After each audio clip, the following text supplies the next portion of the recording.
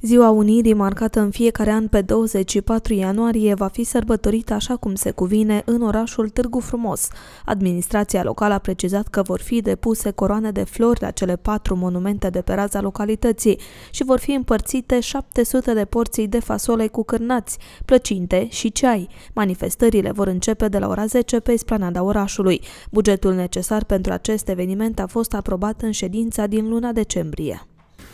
Da, din calculele care le-am făcut, ă, suma asta ne-ar fi necesară pentru acea porție de fasole cu cârnat, plăcint, un par de vin fiert, de precizat este faptul că în acest an se împlinesc 164 de ani de la unirea Principatelor Române sau de la Mica Unire, așa cum i-a rămas și numele în istorie. Pe 5 ianuarie 1859, Alexandru Ioan Cuza a fost ales domn al Moldovei, iar la 24 ianuarie 1859, Cuza a fost ales și domn în țara românească. Momentul a fost primul pas important care a condus către Marea Unire din 1918.